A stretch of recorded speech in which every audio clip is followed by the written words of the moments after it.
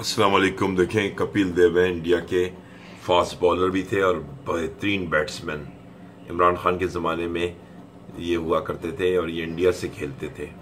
کپتان بھی رہے اور ورلڈ کپ جتوایا انڈیا کو انہوں نے پہلا۔ یہ ان کی وائف ہیں اور یہ ان کی بیٹی ہیں۔ ایک دن کپل دیو صاحب اپنی بیٹی کو پک کرنے کے لیے جا رہے تھے اور گاڑی تیز چلا رہے تھے اس واپسی میں بیٹی ان کے ساتھ بیٹھی تھی۔ تو پولیس والے نے ان کا چلان کر دیا۔ جب پولیس والے نے دیکھا کہ یہ کپل دیو ہے ان کو پہچان لیا، تو اس نے کہا کہ بھائی آپ جائیے، میں آپ کا چلان کینسل کر رہا ہوں، آپ کا چلان میں نہیں کرتا۔ تو کپل دیو کی جو بیٹی تھیں، انہوں نے کہا کیوں نہیں کر رہے؟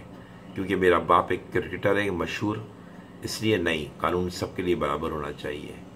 بچوں، ہم نے کیا سیکھا؟ کہ دیکھیں، اس کی بیٹی سے سبق سیکھا کپل دیو کی کہ اس نے اپنے باپ نے اور کو اور پولیس والے کو یہ سمجھایا کہ قانون سب کے لیے برابر ہے۔ کبھی کبھی بڑے غلطیاں کرتے ہیں تو چھوٹے انہیں درست کر دیتے ہیں۔